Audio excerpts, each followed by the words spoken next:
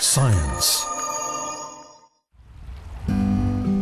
Grass or other feed goes in one end, methane comes out the other.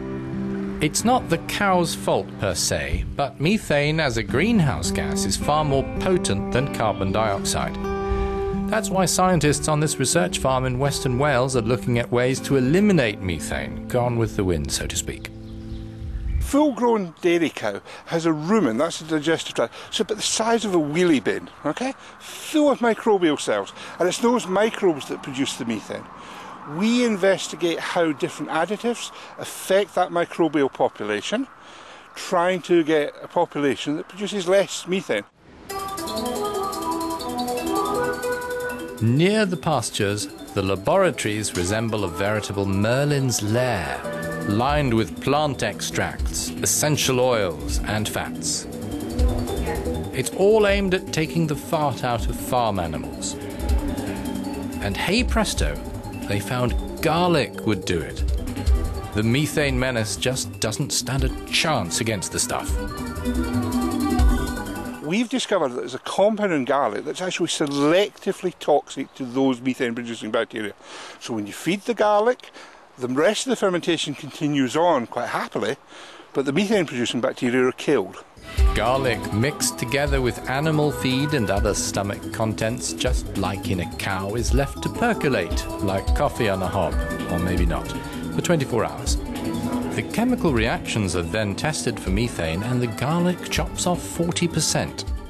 Methane emissions currently contribute to approximately 18% of global greenhouse gas production.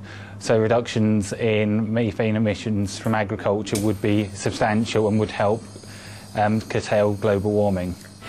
Based on their research, the Aberystwyth University Farm Lab believe a product that will reduce methane emissions from livestock could be commercially available within the next three years. At the company Neem Biotech, engineering the allicin garlic solution, they're also optimistic.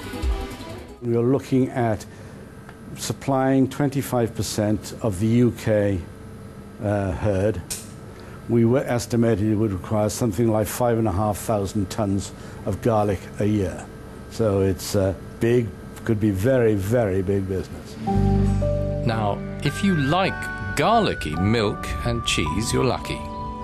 Can't have your cake and eat it too.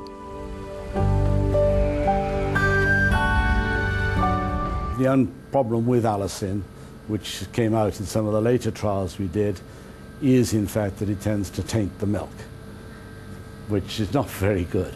And as we're now looking at other garlic metabolites with the same sort of activity, but without the downside. So uh, one with greater stability and one with less taint for the milk. The scientists are also experimenting on sheep and other livestock. The university has been running these tests for nearly three years. They've spent more than 5 million euros on methane detective work.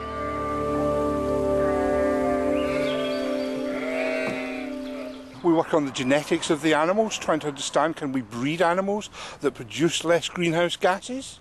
We work on the nutrition. We work with our colleagues who are plant breeders to try and generate new grasses that will produce less greenhouse gas from the animals. The animals pent up here in Wales are themselves unwitting allies in the fight against global flatulence and warming, each contributing in its own way, cloven hoof paired with clove of garlic.